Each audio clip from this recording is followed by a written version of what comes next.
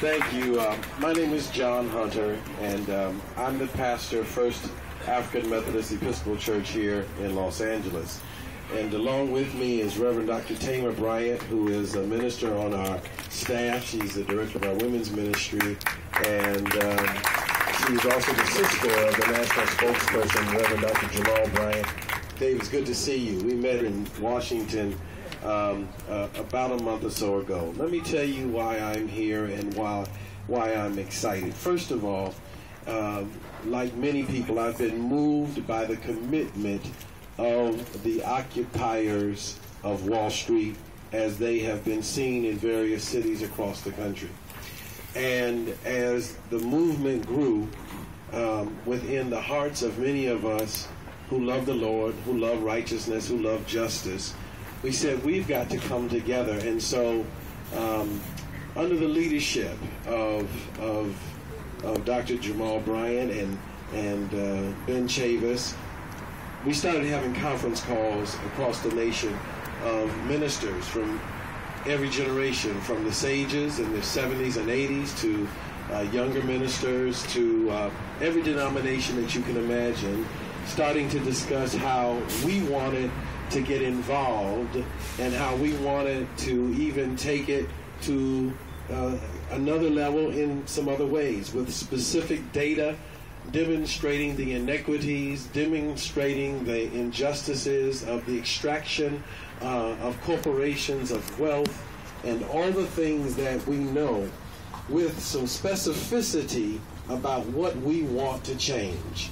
We recognize what has been done in our country. We recognize the greed uh, of Wall Street. We recognize the lack of regulation and what has taken place from uh, predatory lending practices, foreclosures, the lack of jobs, uh, the, the lack of opportunities um, from, from education and the like. So we are forging ahead, and you're going to hear so much more in the coming weeks and months. On February 14th, we're going to formally announce our desire to ask all people of conscience all over the country to extract money from one of the five major banks that uh, from Wells Fargo, Bank of America, Citi, etc., and to put thirty dollars or more uh, into either a minority-owned bank or a credit union, community bank. This signifies, and that's the first step. This signifies a desire. People understand money.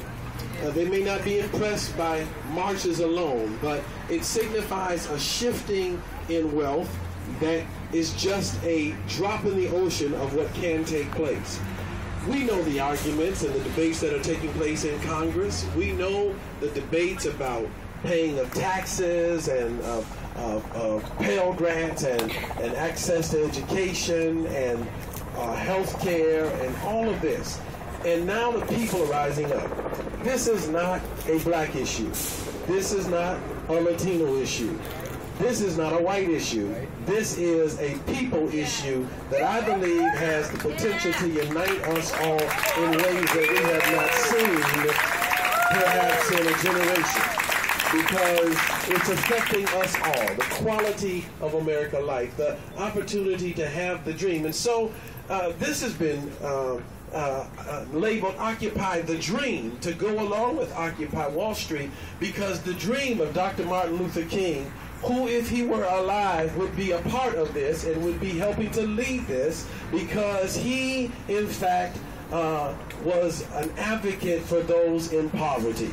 And you know his dream that, that we would come together, regardless of our race, come together based on our love of humanity and our desire to have the best for everyone in terms of opportunity and living together as brothers and sisters. Right. We are rolling up our sleeves and we are going to be galvanizing, organizing, moving, and doing everything. There's, there's a place for everyone. And so we are indebted to the founders, David, of Occupy Wall Street, for those who stepped out with a vision that has captured all of our imagination and, and has moved us.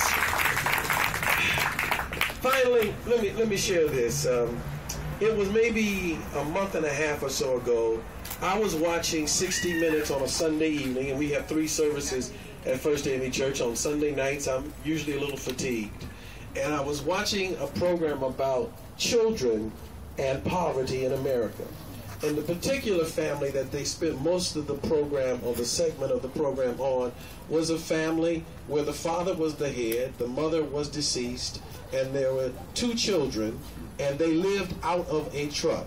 They happened to be white and uh, they told their story how they showered in gas stations and other places and how they were embarrassed. The children were that they did not have a traditional home and whatnot. And as it told the story they then expanded to tell the stories of others.